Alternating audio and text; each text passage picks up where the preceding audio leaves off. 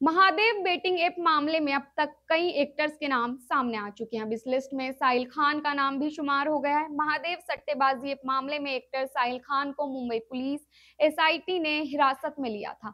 Khan the lion book app नाम के एक सट्टेबाजी ऐप से जुड़े हुए थे, जो महादेव सट्टेबाजी ऐप नेटवर्क का भी हिस्सा है। मामले में पहले मुंबई पुलिस एसआईटी ने उनसे पूछताछ की थी। एक्टर ने जमानत के लिए कोर्ट का दरवाज़ा भी खटखटाया था, लेकिन उनकी जमानत याचिका खारिज कर दी गई।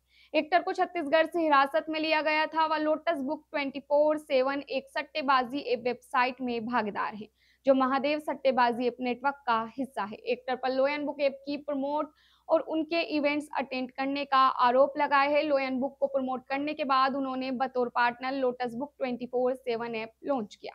साइल ऐप को बढ़ावा देने के लिए अपना रोप का इस्तेमाल करते थे। वो सेलिब्रिटीज को बुलाते थे और पार्टी का आयोजन करते थे। एक्टर को बेटिंग एप केस में हिरासत में लिया गया था। इसके बाद साहिल को कोर्ट में पेश किया गया है, जहाँ उनका पासपोर्ट जब्त कर लिया गया हालाँकि एफआईआर में उनके खिलाफ कोई आरोप नहीं लगाया गया है, लेकिन उनकी जमानत को खारिज करते हुए उन्हें चार दिन के लिए कस्टडी में भेजा गया है। इस विवादित मामले की जाँच के लिए एसआईटी का गठन किया गया है, जो गैर कानूनी तरीके से हुए। महादेव बेटिंग ऐप और रियल एस्टेट कंपनी के बीच हुए फाइनेंशियल ट्रांजेक्शन का पता लगाएगी। बताया जा रहा है कि ये स्कीम पंद्रह हज़ार करोड़ तक का है। बता दें, एक्टर साहिल खान अपनी फिटनेस के लिए जाने जाते हैं। उन्होंने एक्सक्यूज मी और स्टाइल जैसी फ़िल्मों में काम किया है।